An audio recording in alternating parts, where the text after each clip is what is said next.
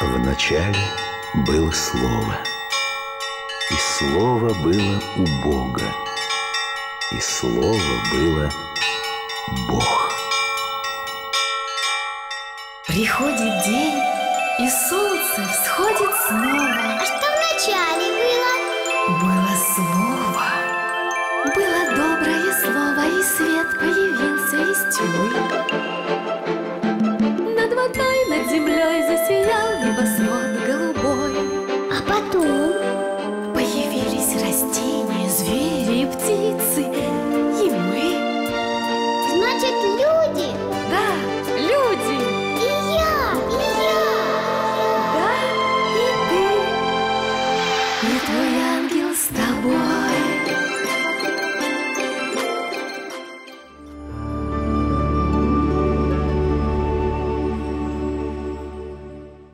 Здравствуйте, дорогие друзья! Снова сегодня ожидает нас древняя книга «Пролог». Снова возьмем мы из нее какой-нибудь самоцвет.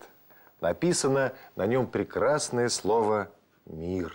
В самом деле, как хорошо вообще ни с кем не ссориться. Тогда и на сердце всегда будет легко, и земля предстанет перед нами совсем иной, преображенной, почти райской. Ну, а если размолвка все-таки состоялась, что тогда? Тогда поспешим помириться с тем человеком, который нас обидел. Мириться нельзя только с врагами веры и Отечества, а все прочие раздоры лучше улаживать как можно скорее. И вот какую поучительную историю предлагает нам церковь.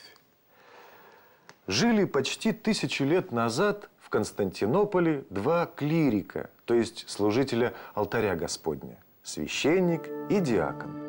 Много лет совершали они божественную литургию в храме Святой Софии, да с таким усердием, что все прихожане просто дивились им. Служат они, как во времена древние, апостольские, нередко говорили люди, и даже по окончании литургии не хочется уходить из храма. Но кто из нас без греха? В один злосчастный и сумрачный день между этими двумя служителями произошла ссора. Трудно сказать, кто из них был зачинщиком.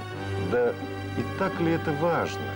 Ведь перед совершением святой литургии они должны были уже не раз помириться.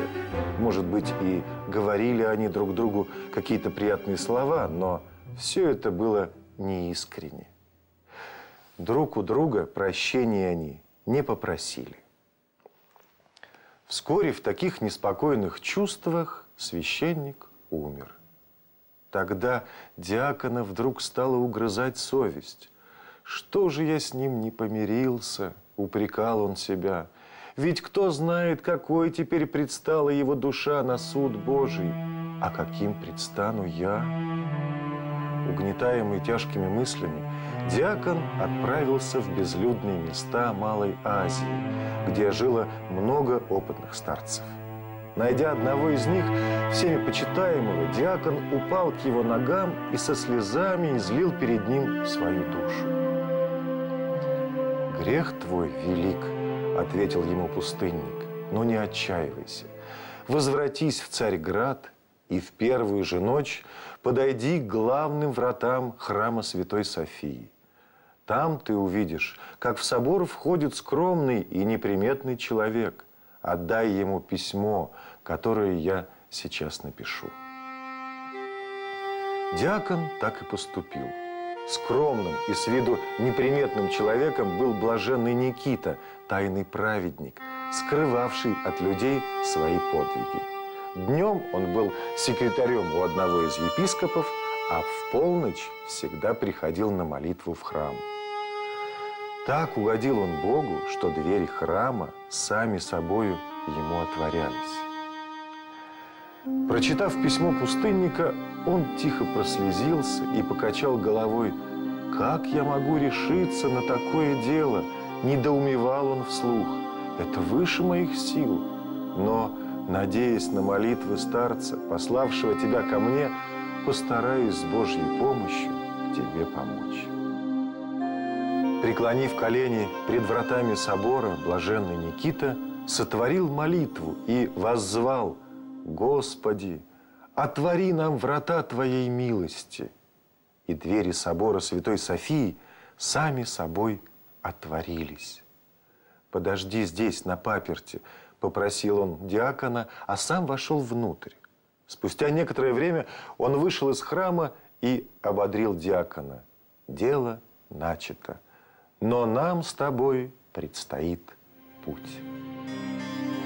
С этими словами блаженный Никита направился на торговую площадь, где стоял храм в честь Пресвятой Богородицы. И там тоже сотворил молитву. Диакон едва поспевал за ним.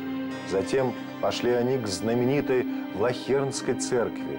Уже потом диакон сообразил, что это шествие по храмам было столь стремительным, как будто перелетали они по воздуху. И всюду двери церквей сами открывались и закрывались.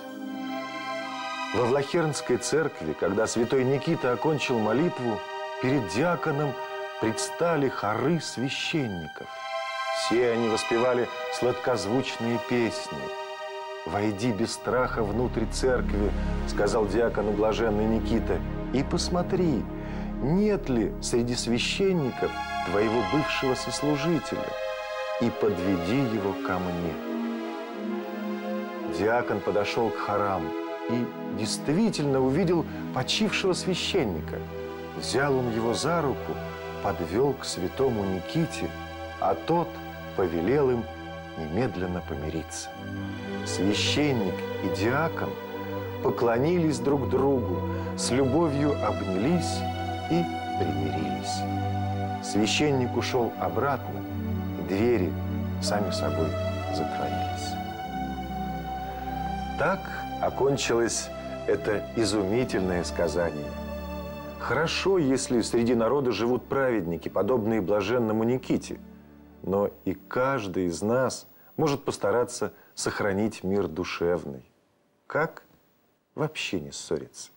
Или научиться быстро говорить «прости» и самому простить обиду от всего сердца. Постараемся так и поступать. Храни вас Господь, друзья мои.